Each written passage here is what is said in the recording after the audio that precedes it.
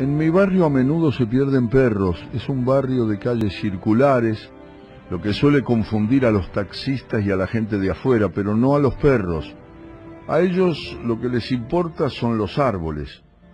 Ahí encuentran toda la información del barrio que les interesa, como si leyeran el diario. Sin embargo, desaparecen igual. Los carteles que la gente pega en los postes y en las vidrieras de las tiendas son muy tiernos tienen una foto y casi todos son perros lindos. A veces aparecen con su dueño mostrando una escena de los tiempos felices. Muchos carteles hablan en primera persona, por ejemplo dicen, me llamo Toby y soy un cachorro de labrador, tengo una manchita blanca en el morro y mi dueño se llama Tomás. Por favor, encontrame y llévame de vuelta a casa. A todos ellos, por si no encuentran nunca a su perro, les dejo un mensaje telefónico diciéndoles que en la costa hay unos dos mil perros abandonados por sus dueños en veranos sucesivos. Pero yo no puse ningún cartel, pese a que extrañaba lo indecible al mío, ya que los dos éramos seres solitarios y maniosos. Tampoco tenía fotos de él porque mi perro es feo no lo iba a humillar así, de manera que decidí hacer una búsqueda personal, ir a tocar el timbre allí donde escuchara ladridos y preguntar si no lo habían visto. En la primera casa en que lo hice me atendió una mujer que me estudió de arriba abajo por la mirilla. Cuando le dije que se me había perdido el perro, me abrió la puerta, aunque dejó puesta la cadena por precaución. ¿Y cómo es su perro? Y le dije yo, es feo, tiene los ojos muy saltones y el hocico muy largo. ¿No tiene foto? No. Como es tan feo no se justifica sacarle fotos. Me quedé pensando en Otis. Tiene una barbita, recordé, que sería simpática si fuera pareja, pero no lo es. Le crece un pelo por aquí y otro por allá, y tiene las patas muy cortas. En fin, un perro feo se reconoce enseguida. Me miró ofendida. Tal vez le pareció que mi descripción no era del todo ingenua, dado que ella misma tenía ojos notablemente saltones y mirada más de cerca, probablemente tuviera pelos en el mentón. No había visto ningún perro tan feo en el barrio, me dijo, y alzó al perrito caniche que apareció entre sus patas ladrando histéricamente. Llevaba una camiseta con un corazón bordado donde podía leerse su nombre, Patou. Patou, Patou, le dije, yo con... se lo dije con voz cariñosa, pero el perro me ladró más histéricamente todavía, adivinando la malevolencia que me despertaba. Seguí caminando y toqué el timbre en una casa donde un enorme perro San Bernardo dormitaba detrás de las rejas del jardín. Un chico se asomó por la ventana y me dijo que su mamá se estaba duchando, que no me podía atender le pregunté si había visto por la calle algún perro feo. Sí, un montón, me dijo el chico. Todos los perros son feos. ¿Y el tuyo? pregunté yo. El mío también es feo, pero es el más grande del mundo. Adivina cómo se llama. Y sin darme la menor oportunidad, agregó enseguida. Se llama Rafael, pero no te lo voy a decir. Después desapareció de la ventana. Un poco más adelante me detuve en el portón de un garage donde cuatro perros de distintos tamaños me ladraron con furia. Uno de ellos era Rengo. Toqué el timbre y me atendió una mujer muy mayor, pero con una melena increíblemente joven y activa. Unos rulos grises y brillantes que se escalonaban en varias capas formando un volumen notable alrededor de su cara. Parecían algo ajeno a ella, pero la acompañaban en forma constante como un perro más. Cuando le dije que mi perro no era un cachorro, que era feo, me preguntó qué entendía yo por un perro feo. Cuando se lo describí más o menos como ya lo había hecho otras veces, se quedó pensando. Tal vez no sea un perro feo, me dijo, sino diferente, raro, un perro que no cualquiera puede entender. Dicho esto, me hizo ademán de esperar y desapareció en la casa. Al minuto reapareció con otro perro entre los brazos. Él es Hugo, me dijo. ¿Le parece feo?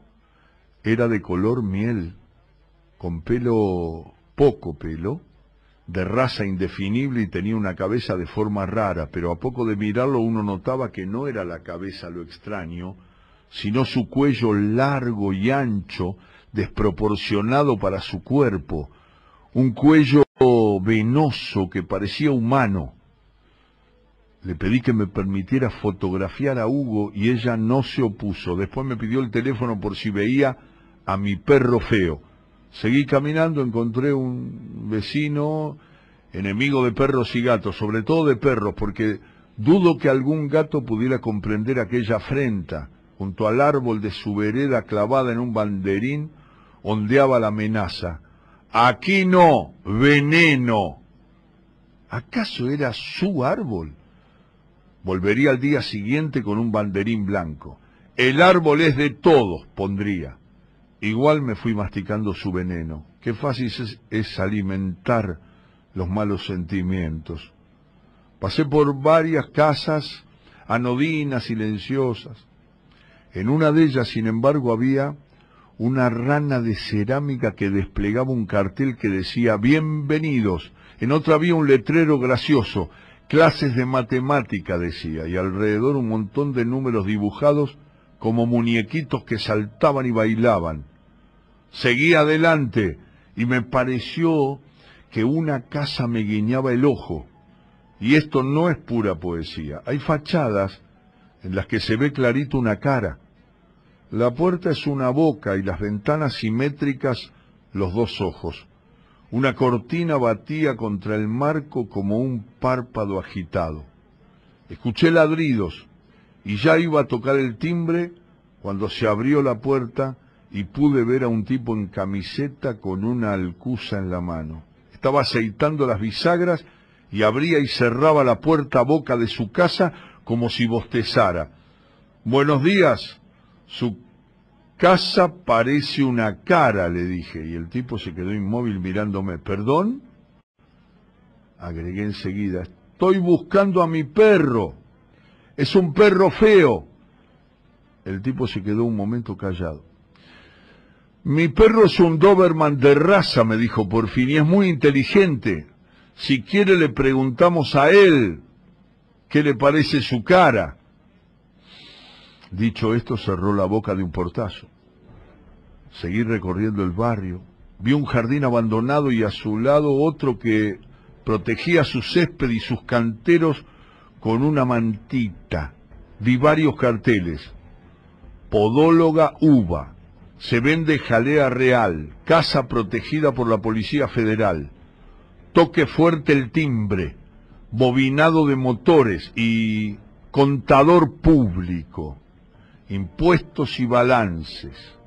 Por fin, cuando ya casi estaba en el borde del barrio donde terminan las calles circulares, escuché un tumulto de ladridos y patas que rascaban contra la puerta de un garage. Esperanzado toqué el timbre. Me abrió la puerta una mujer joven de cara angosta y larga, los ojos un poco oblicuos, el pelo lacio y largo con raya al medio.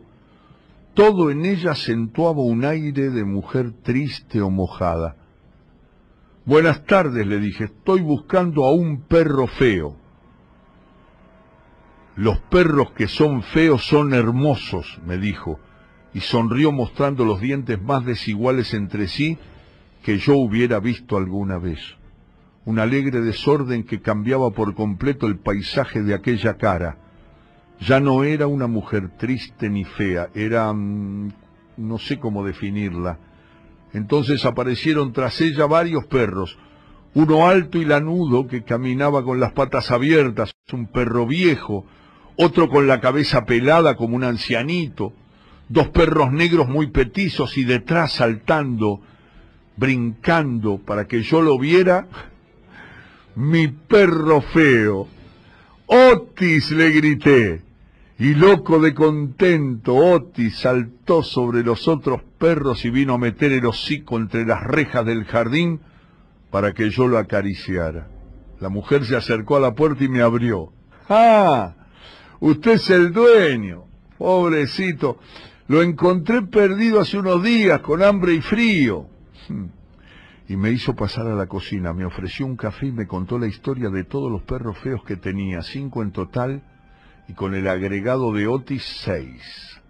Tenía una voz armoniosa, unas manos que parecían buenas.